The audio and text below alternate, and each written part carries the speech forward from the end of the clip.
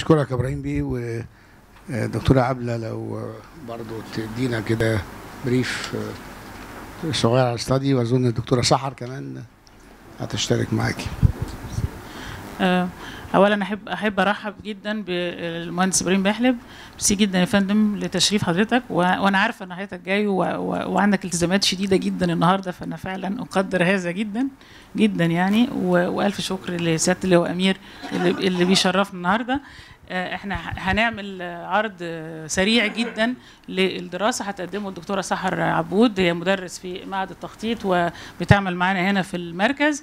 ال- الدراسة اللي إحنا عملناها هي بت- بت- بتصب بالظبط في حضرتك بتتكلم عليه. حضرتك اتكلمت على في اللجنة اللي بيتعمل فيه هو معالجة آثار المشكلة. آثار المشكلة إن الناس خدت ال- الأراضي وحضرتك بتتعامل مع أصعب جزء اللي هو إن أنا إزاي ترجعها منهم من غير ما تعمل مشكلة اجتماعية وخلافة. لكن دي آثار المشكلة. المشكلة أصلها في مشكلة مؤسسية وتشريعية وخلافه فهنشرح الوضع الحالي عامل إزاي ال- الجهود اللي عملتها الدولة وصلت لحد فين تجارب الدول ال- اللي نجحت في منظومة الأراضي وإزاي إحنا لمينا من ده عشان نطلع بمقترح محدد يبني على الموجود من غير ما نضيف آه، آه، مؤسسات. اتفضلي يا سحر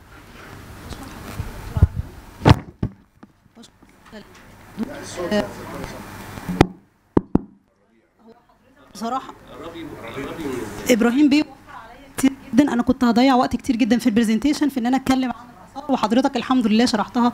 باستفاضه إحنا بس بنقول إحنا ليه محتاجين نراجع منظومة إدارة أراضي الدولة؟ إحنا محتاجين نراجع منظومة إدارة أراضي الدولة عشان في اختلالات في المنظومة الحالية هنعدي عليها سريعا والدراسة تناولتها بالتفصيل. عايزين نعظم الاستفادة من أحد أهم الأصول اللي بتمتلكها الدولة. عايزين نواجه التحديات اللي بتقابل مصر حاليا وفي المستقبل. عايزين نحقق مخرجات المخططات الاستراتيجية القومية المختلفة اللي عندنا. وعايزين كمان نستفيد من الثورة التكنولوجية. ألخص الكلام ده كله في إن رفع منظومة إدارة أراضي الدولة هيساهم في تحقيق أهداف التنمية المستدامة وبالتالي يستحق فعلا زي ما حضرتك قلت إن هو يكون على أجندة الأولويات الوطنية. لو لخصنا بسرعة ملامح الإطار المؤسسي لإدارة الأراضي هنلاقي عندي جهات عديدة جدا. كم الجهات اللي ليها علاقة مباشرة وغير مباشرة بالأراضي زي ما هو موضح في الشكل من وزارات وهيئات ومحافظات بالإضافة إلى المركز الوطني لتخطيط استخدامات الأراضي. مجموعة كبيرة عشان ال- الوقت إحنا اتضغطنا في نص الوقت. عندنا كم كبير جدا من ال- إن شاء الله الدراسة هتبقى متاحة بالتفصيل بعد ما ناخد الفيدباك بتاعت حضراتكم. أوكي. الصورة دي بتوريني أهم الوزارات والهيئات المعنية بأراضي الدولة وإحنا عاملين مجموعة الوزارات مقسمينها بألوان مختلفة. المجموعة الأولانية دي وزارات تتبعها هيئات هي من مسؤوليتها إنها تعمل تخصيص بالإضافة للمحافظات برضو من حقها إنها تعمل تخصيص. المجموعة الثانية بتوافق جهات بتوافق على التخصيص اللي عملته المجموعة الأولانية ودي وزارات أخرى اسمها وزارات معنية بالأراضي وفقا للقرار الجمهوري اللي منشئ للمركز الوطني لاستخدامات أراضي الدولة.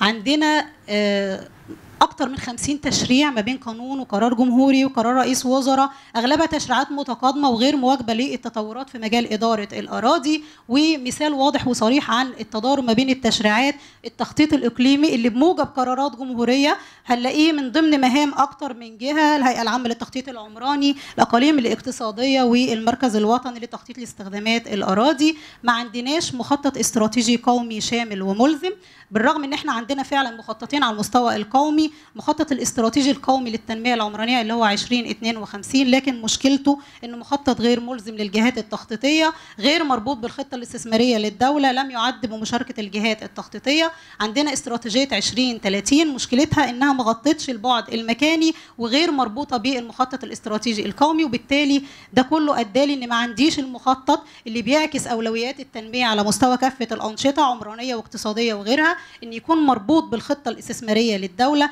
إن يكون ملزم لكافة الجهات التخطيطية. هرجع ليه وأقدر أطلع منه خريطة مستقبلية استخدامات أراضي الدولة على اساسها يتم التخصيص في المستقبل. النقطة الرابعة عدم وجود نظام معلومات متكامل وهنا نظام المعلومات بنتعرض للتسجيل الخرائط المعلومات المتاحة للاستثمار وحصر أراضي الدولة. أنا مش هطول هتكلم في الجزئية بتاعة التسجيل. عندي أنظمة تسجيل متعددة جدا عندي ارتفاع في التكلفة وطول المدة. ده خلالي تسجيل قطعة أرض بياخد من 5 ل 15 سنة وخلالي نسبة الأراضي المسجلة ما بتزيدش في أي حال من الأحوال عن 15% بالنسبة للخرائط عندي وده طبعا أثر على وجود مصر في مرتبة متدنية جدا في مؤشر تسجيل الملكية اللي هو أحد المؤشرات الفرعية لمؤشر ممارسة الأعمال. سبقتنا دول كتير جدا في نفس مستوى الدخل في ترتيبنا في هذا المؤشر. بالنسبة للخرائط عندي أكتر عندي أكتر من جهة بأكتر من خريطة أغلبها خرائط غير محدثة. بالنسبة للمعلومات المتاحة للاستثمار هلاقي في محدودية أمام المستثمر في المعلومات المتاحة للاستثمار إن ركزت بس كمان على جهة الولاية بدون ما بديله تفاصيل على آليات التخصيص والتسعير والمعايير اللي بيستند إليها وكذلك آليات نزع الملكية وإزاي بيتم تقدير التعويضات. بالنسبة لحصر أراضي الدولة دي طبعا أحد المهام اللي وردت في القرار الجمهوري المنشئ للمركز الوطني لتخطيط استخدامات الأراضي. طبعا ال- المركز عمل الحصر ولكن المعلومات دي بالنسبة لنا غير متاحة. أغلبها بيركز على جهة الولاية والمركز ملوش دور قوي في حالة وجود تنازع على جهة الولاية ما بين أكتر من جهة. نخلص من الموقف ده إن إحنا مش ممكن نقدر نقف على الموقف النهائي للملكية والحيازة واستخدامات الأراضي. وبالتالي سياسات الأراضي بتتم في غياب وجود نظام معلومات متكامل عنها.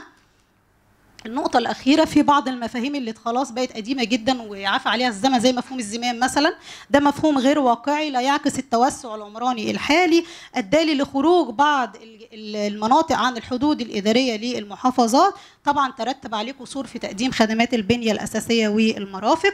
بالنسبة للمفهوم الثاني هنلاقي مفهوم الإقليم. ده مفهوم الحكومة المركزية بتبص له بأكتر من مفهوم سواء مفهوم الأقاليم الاقتصادية وفقا لقانون التخطيط أو الأقاليم الاقتصاد الأقاليم اللي بتنشأ بموجب قرارات جمهورية أو الأقاليم الجغرافية لدى بعض الوزارات زي وزارة النقل ووزارة الصحة وزارات قطاعية كتير عندها مفهوم مختلف تماما وده طبعا بيؤدي لتخبط السياسات الموجهة لنفس المنطقة.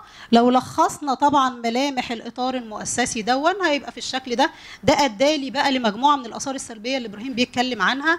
هلخصها سريعا. بيئة أعمال طاردة للاستثمار إهدار وعدم كفاءة في استخدام الأراضي وفي الآخر تعثر التنمية الشاملة. ال- بيئة أعمال طرد الاستثمار الأرض فعلا هي معضلة الاستثمار الأولى مستثمر بيعاني من تشتت وعدم إتاحة المعلومات حوالين الأرض. في أساليب تخصيص متعددة وإجراءات متعددة تختلف من جهة لأخرى أساليب تسعير متعددة أيضا ومختلفة ما عنديش معايير مرجعية ولا كيان واحد بيقوم بالتسعير إهدار وعدم كفاءة في استخدامات الأراضي زي ما حضرتك استفدت فيها انتشار ممارسات وضع اليد.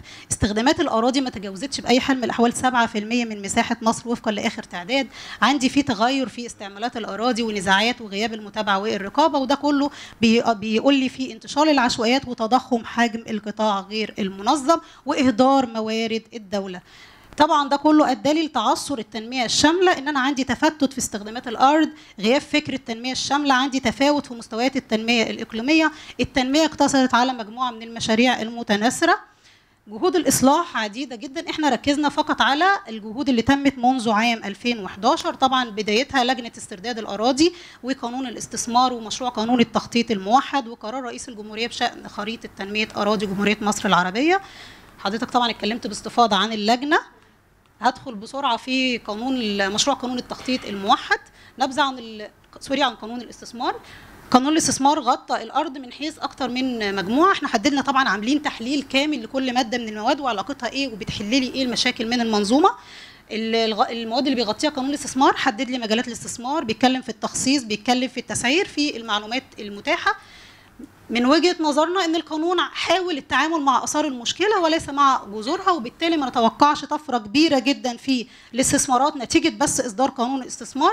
وعلى سبيل المثال مثلا فيما يتعلق بالتخصيص هنلاقي حضرتك هيئة الاستثمار هيئة العامه للاستثمار دخلت كجهة وسيط ما بين المستثمر وبين جهات الولاية بدون إنها تقدم تيسيرات حقيقية في مجال تخصيص الأراضي. وفي الحالة دي بنقول إن مفيش كمان آليات تنفيذية حقيقية تمكن الموظف الممثل للجهة الإدارية اللي هي جهة الولاية من إن هو يقوم بتخصيص الأرض دون الرجوع لجهات الولاية. نخرج من ده إن التخصيص زي ما هو وفقا للقواعد واللوائح اللي بتحكم كل جهة. بالنسبة لقانون التخطيط قانون التخطيط بالرغم من أهميته في ضبط منظومة التخطيط على مستوى الدولة وإن يسهل لي الرقابة ويقلل من الهدر بتاع المال العام إلا إن وكمان بالإضافة لإن المركز الوطني عضو في الأمانة الفنية لهذا المجلس الأعلى اللي هينشأ بموجب تخطيط القانون التخطيط الموحد إلا إن ومن الغريب لم يتضمن القانون أي حاجة من قريب أو بعيد تشير إلى تخطيط لاستخدامات الأراضي. وكمان اعتبر خريطة استخدامات أراضي الدولة كأنها إطار تخطيطي منفصل عن خطط التنمية الشاملة والمخطط الاستراتيجي القومي. وهنا بس بطرح تساؤل طب أليس ممكن كان في ضوء المخططات اللي عندي التنموية المختلفة سواء الاقتصادية أو الاستراتيجي للتنمية العمرانية إن أنا أخرج بخريطة قومية شاملة وملزمة لكافة الجهات بشأن استخدامات أراضي الدولة؟ قرار آه، صدر في فبراير 2018 بشأن خريطة تنمية أراضي جمهورية مصر العربية. القرار ده ألزم جهات الولاية بالمخ- بالمخرجات الواردة في المخطط الاستراتيجي القومي للتنمية العمرانية. ووضع ضوابط على أساسها تتصرف جهات الولاية في الأراضي المخصصة ليها. القرار ده بالرغم من أهميته وان إحنا اعتبرنا إن مفيش مخطط قومي شامل وملزم ده أحد التحديات الأساسية في منظومة أراضي الدولة ولكن بأمانة هو اثار عندنا مجموعة كبيرة جدا من التساؤلات. أولها إن هو اعتمد على مخطط التنمية العمرانية المعتمد في 2013 رغم إن في تحديث على هذا المخطط تم في 2016 إلى أي مدى يوجد تكامل ما بين المخطط الاستراتيجي القومي للتنمية العمرانية وما بين استراتيجية التنمية المستدامة والمخططات القطاعية والإقليمية؟ وإذا وجد تعارض فمن سيحل هذا التعارض؟ لماذا لم يتم إسناد مهمة التأكد من تكامل المخططات للمجلس الأعلى للتنمية العمرانية لحين إنشاء المجلس الأعلى للتخطيط والتنمية المستدامة؟ اللي هينشا بموجب قانون التخطيط الموحد. كيف تم تخصيص الأرض أصلا للجهات بدون ما يكون عندي فيه مخططات لتنميتها؟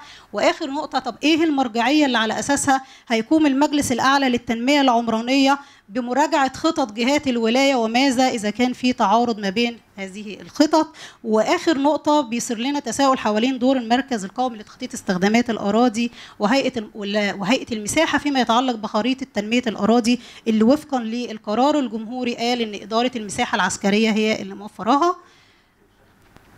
الشكل ده بيلخص لنا التحديات والمشاكل وفي نفس الوقت الجهود والحلول. هنلاقي لو لخصناها سريعا هنلاقيها في محور أو أكتر. هنلاقيها قد تتعرض للآثار ولا تتعرض لجذور المشكلة. من الوضع ده شايفين إن الجهود دي حلول جزئية وغير شاملة ومتكاملة لتصليح منظومة الأراضي. ما زال عندي في فصل ما بين خطة استخدامات الأراضي وخطط التنمية. ما زال في تخبط واستمرار تسارع على إدارة أراضي الدولة ما بين مختلف الجهات. طيب أهم محاور الإصلاح في ضوء التجارب الدولية حبينا بقى نرجع نستفيد من التجارب الدولية في هذا الشأن وكان بالنسبة لنا من السهل جدا نرجع لدول رائدة وعندها نماذج إدارة آه، سهل إن إحنا نقتدي بيها لكن إحنا في الورقة استهدفنا ندرس حالة سنغافورة وكوريا والصين وجورجيا ليه؟ لأن وفقا لمعايير معينة إحنا شايفين الدول دي كان عندها إدارة الأرض تحدي كبير جدا ونجحت فعلا إنها تعمل وتحسن من إدارة أراضيها وعلى أساس ودي كانت أحد عوامل نجاحها في إنها حققت طفرة تنمويه كبيرة عندها إدارة وفقا لمنظومة مؤسسية غير متأثرة بأي اعتبارات سياسية وتناولناها بالتفصيل. هعرض سريعا على حضراتكم بس التحديات الخاصة بإدارة الأراضي في كل دولة. سنغافورة مثلا ندرة الأرض عندها بتخليها من أخطر الموارد وتعظيم الاستفادة بما يخدم أهداف التنمية المستدامة دايما على آه، رأس أولويات الحكومات. كوريا الجنوبية بنقول كوريا واجهت المشكلة منذ السبعينات وإنها قبلت وهي بتعمل طفرة اقتصادية طلب غير عادي على إدارة الأراضي لكن كانت إدارة أراضي عندها غير كفء وغير مواكبة لهذه التطورات. أدركت كوريا منذ التسعينات بقى أن إدارتها السيئة للأراضي ترجمتها في صورة فرصة استثمارية ضائعة ومن هنا بدأت تحطها على أجندة أولوياتها. الصين كان عندها تحدي مختلف. طبعا نظرا للخلفية السياسية للصين كان عندها تحديين مختلفين. التحدي الأول إنها كانت كدولة عايزة تظل محتفظة بملكية الأراضي وفي نفس الوقت تعظم استخدامات وتطوير الأراضي بأعلى كفاءة وأعلى ربحية. التحدي الثاني عندها كان إزاي إنها تحافظ على الأراضي الزراعية من أثر التصنيع والتمدن السريع. جورجيا كانت حالة مشابهة شوية لمصر. إطار مؤسسي مفتت تداخل في الاختصاصات ما بين الجهات كافة العمليات بتتم على مستوى الإدارة المحلية وبالتالي في تأثيرات سياسية وانتشار للفساد. كافة المؤسسات اللي بتقوم على الأرض بتمول من الموازنة العامة للدولة وبالتالي آه، لا تملك الموارد الكافية أنها تقوم بكل مهامها على الوجه الأكمل. المستثمر والمواطن كان بيعاني من تردي الخدمات. هعرض بسرعة أهم عوامل النجاح في إدارة الأراضي وإحنا في الورقة متناولينها بمزيد من التفصيل. طبعا سنغافورة كانوا عاملين من عوامل النجاح. أول حاجة إطار مؤسسي مبسط ومتسق قايم على جهتين بمهام واضحة ومحددة ومفيش تداخل ما بينهم. الجهة الأولى بتدير عملية التخطيط وبتراجع وتتأكد إن عملية التخطيط بتتم وفقا للضوابط الموضوعه وبتتولى برنامج الطرح الحكومي للأراضي. الجهة الثانية بت بت بتدير الاستحواذ على الأراضي وبتقوم بعملية البيع والتأجير وكمان مسؤولة عن التسجيل ونقل الملكية وتنفيذ المسوح. إطار تخطيطي منضبط وتشاركي. سنغافورة عندها اطار إطار تخطيطي بيعتمد على آليتين. آلية طويله الأجل اللي هي الكونسبت بلان دي بتتحط في ضوء خطة تنمية اقتصادية حقيقية على مدى ال 50 سنة الجايين. بتتراجع كل 10 سنين. عايزة أركز فيها على نقطتين. الحوار المجتمعي مكون رئيسي في الخطة المفاهيمية طويله الأجل. آه، بتتبنى منهج العرض والطلب. طبعا بتترجم في صورة خطط تفصيلية لمدد زمنية أقصر. لو خدنا في كوريا هنلاقي كوريا نموذج التميز عندها أو عوامل التميز عندها إنها قدرت تعمل نظام معلومات إلكتروني متكامل ومتاح دمجت كل القواعد البيانات الخاصة بالأراضي خلت إن أكتر من وزارة تقدر تتشارك نفس المعلومات في نفس الوقت وبمنتهى الدقة. ده كمان متاح للعامة وللمستثمرين والقائمين على التخطيط. المعلومات اللي بيغطيها نظام معلومات الكوري معلومات تفصيلية في كل المجالات زي ما حضراتكم شايفين. طبعا استبدلت تماما الإدارة الورقية بنظام معلومات إلكتروني. ده كله عمل لي طفرة في تقديم الخدمات الخاصة بالأرض قلل لي في الوقت والتكلفة والعمالة عمل لي اتساق وتكامل السياسات لأنها بقت مبنية كلها على نظام معلومات موحد رشد لي في النفقات العامة. وآخر نقطة كمان حقق لي إيرادات عامة. تقريبا ثلاث أمثال ما تم إنفاقه على النظام ده. طبعا النظام ده بناؤه خد وقت كبير جدا من التسعينات. الصين طبعا زي ما شرحت التحديين الأساسيين واجهتهم إنها قدرت تعمل إطار قانوني موحد يحل لها المشكلة دي يفصل لها بين الملكية وتظل وفقا للدولة وفي نفس الوقت يعظم من الاستخدامات الخاصة بالأراضي. عندها قانونين أساسيين قانون بيحكم إدارة الأراضي ويقول للجهة المسؤولة عن الإدارة على مستوى القومي وعلى كل المستويات الإدارية وبيحط لي كمان آلية لفض المنازعات وآلية لضوابط نزع ملكية الأراضي والإجراءات الرسمية المتبعة عشان طبعا ضمانة إن ما يحصلش أي تعسف من أي جهة حكومية. وبيحط لي آلية للمتابعة والمحاسبة من خلال جهة مركزية دي تتبع أعلى مستوى إداري موجود في الدولة ومستقلة سياسيا. القانون الثاني قانون منظم لعملية التخطيط الخاصة بالمدن. ده بيحط لي الهدف من التخطيط وتفاصيل والمعايير اللي على أساسها. بنحط الخطط الطويله الأجل وقصيرة الأجل. النقطة المهمة في الجزئية دي إن أنا أي تعديل في الخطة بتقوم بيه الحكومة. لازم توافق عليه مجلس الشعب يوافق عليه مجلس الشعب الخاص بالمستوى الإداري. حضراتكم عارفين الصين فيها أكتر من مستوى إداري. ده ليه؟ لأن سياسات الأراضي هناك متكاملة مع باقي السياسات.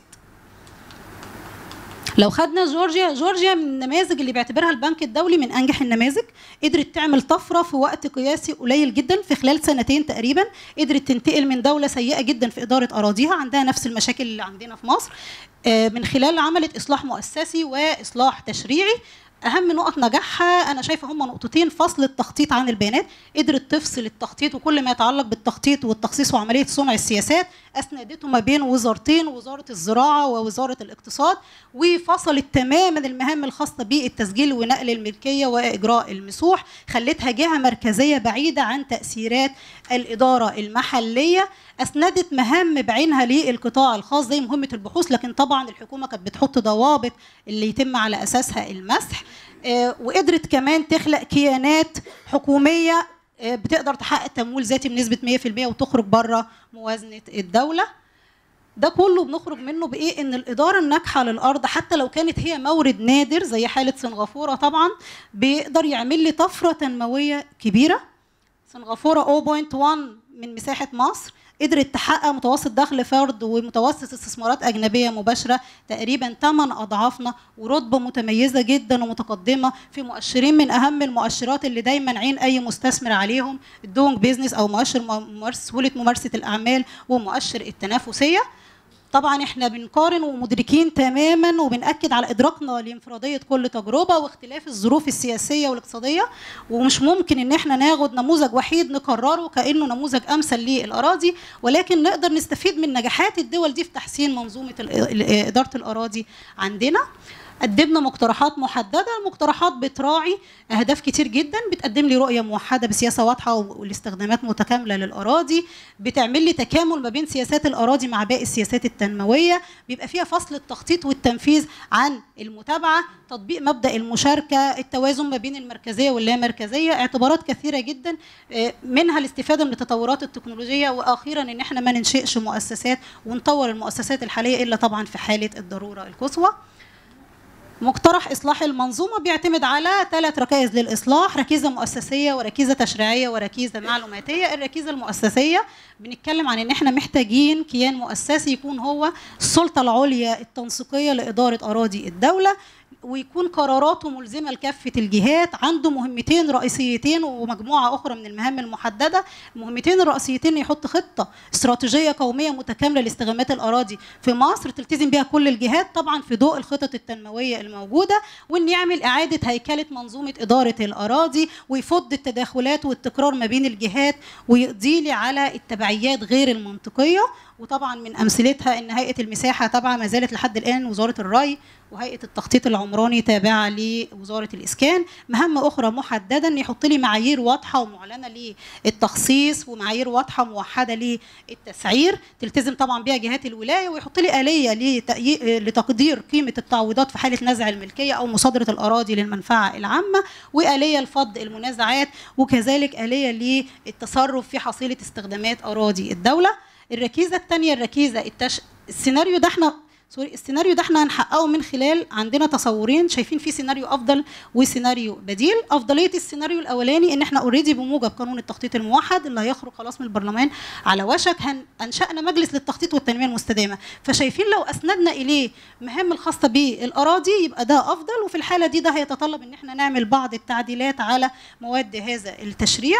السيناريو البديل إذا استمر الوضع إن إحنا عايزين نفصل الأراضي عن منظومة التخطيط وده مش السيناريو الأفضل بالنسبة لنا. في الحالة دي هنضطر ننشئ كيان جديد اللي هو المجلس الأعلى لإدارة الأراضي وطبعا هنصدر يتطلب ده طبعا إصدار قرار جمهوري. وفي الحالتين إحنا محتاجين إن إحنا نضم زي ما حضرتك قلت خبراء إيديهم في آه، كل نشاط اقتصادي فاهمين كويس قوي عايزين إيه من استخدامات أراضي الدولة.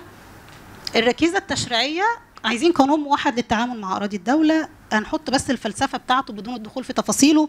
القانون ده يأكد لي على أن الأراضي ملك للشعب والدولة مفوضة لإدارتها بما يحقق التنمية المتوازنة والشاملة اللي نص عليها الدستور. وعايزة منه إيه كمان؟ يحقق لي الشفافية والموضوعية في كل ما هو ليه علاقة بإدارة الأرض بداية من التخطيط ثم التخصيص والتسعير ونزع الملكية. محتاجة إطار معلوماتي إطار معلوماتي يقول لي إن في عندي قواعد بيانات واحدة عند كل الجهات اللي ليها علاقة بالأراضي. طبعا مر- مربوطة ببعض الكترونيا. كلهم بيقدروا يدخلوا وياخدوا نفس البيانات ونفس الخرائط وبيتم تحديثها تلقائيا. محتاجين هنا نستفيد من التقنيات الحديثة. إحنا لسه لحد دلوقتي بنتكلم عن تطبيق منظومة السجل العيني واخدة وقت طويل جدا مننا ده ظهرت تقنيات تانية حديثة دول كتير بدأت تفكر إنها تستخدمها في إدارة أراضيها ومنها طبعا ال big data والبلوك تشين وده طبعا هيقلل لي من الفساد وهيزود لي الكفاءة ويسهل كمان المتابعة. عايزين ميكنة كاملة لكافة التعاملات الخاصة بالأراضي. وأخيرا نربط قواعد بيانات الأراضي بقواعد البيانات الأخرى. طبعا لو طبقنا المنظومة دي بالثلاث ركائز للإصلاح هننتقل من وضع آه، سيء جدا إلى وضع جاذب للاستثمار كفاءة وفعالية في استخدام الأرض تحقيق التنمية الشاملة المستدامة اللي هي هتترجم في صورة متغيرات كتيرة جدا. ارتفاع طبعا في الناتج المحلي زيادة في مستوى الدخول تنمية عمرانية مستدامة اضمحلال القطاع غير المنظم آه، إيرادات عامة هيحصل فيها طفرة. كل ده لو لخصناه في جملة واحدة بس نقول لو عملنا منظومة الأراضي بالثلاث ركائز دول هيحصل عندنا انطلاقه نحو التنمية الشاملة المستدامة. وأسفة جدا للإطالة والسرعة.